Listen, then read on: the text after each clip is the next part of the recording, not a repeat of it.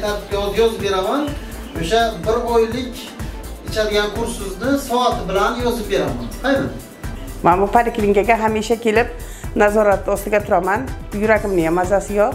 Bir ozgina yo'tal beruvdi kelib shamolladim deb murojaat qilgan taqdirimga mani pnevmoniya chiqardilar xudoga shukur davolandim.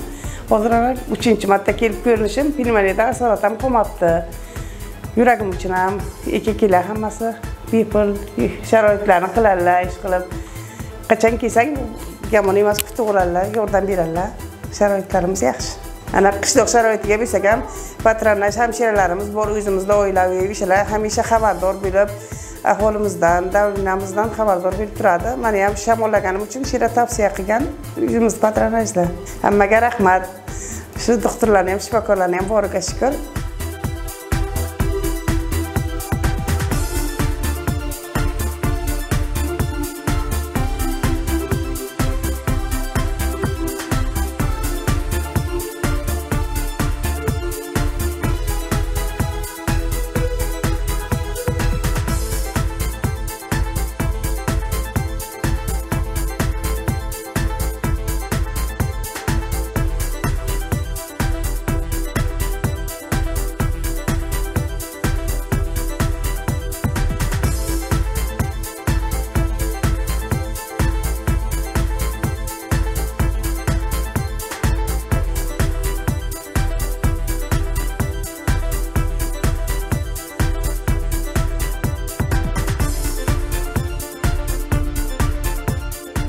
ana biza ko'p tarmoqli poliklinikamizga doimiy e, kelib turamiz vrachlarimizga bolachamizni ko'zlari og'rigani uchun hozir e, keldik.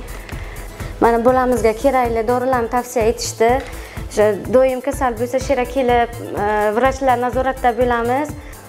Xudoga shukur ikki uch kunda yaxshi bo'lib ketadilar bo'lamiz. Shifokorlarga kattakon rahmat. Hammalariga patronajlarimizga ham rahmat. Bolamizni uydan borib xabar olib kerakli vrachlarni tavsiya etishadi. Shu vrachlarimizga katta hammalariga rahmat.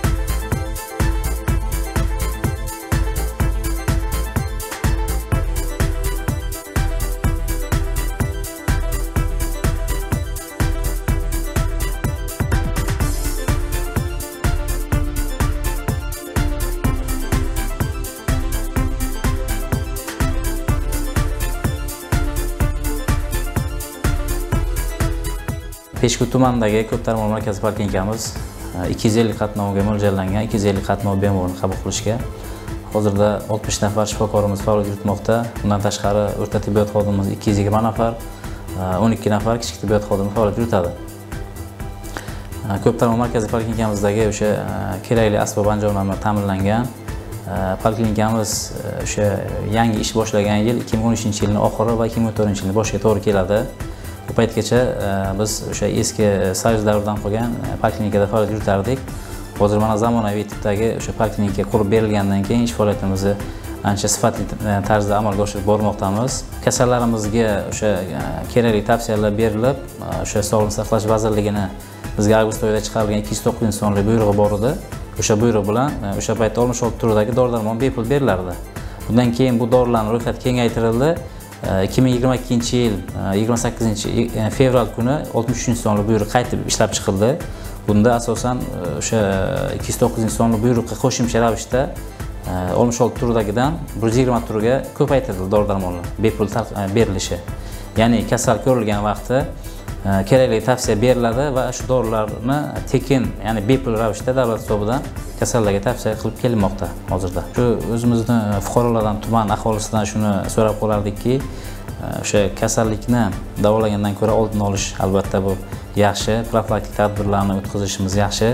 Biz doimiy ravishda e, aholi orasida o'sha profilaktik tadbirlar seminarlar tashkil qilib kelmoqdamiz.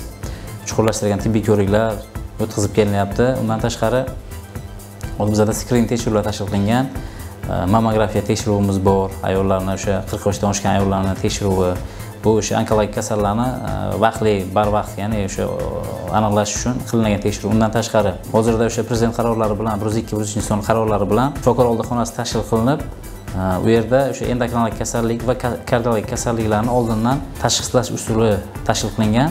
Ya'ni kasallikni oldindan barvaqt aniqlab o'sha kasallikni chuqurlashib ketmasligi uchun kerakli ishlar olib borilmoqda. Tumanimiz aholisidan shuni e, so'rab qolardikki e, sog'lom turmush tarziga rioya qilishlarini ya'ni o'sha ovqatlanish rejimiga amal qilish e, o'z vaqtida ovqatlanish o'sha ovqatlanganda ham ko'p to'yib yemaslik kam kam tez tez miqdorda ovqatlanish tavsiya qilinadi.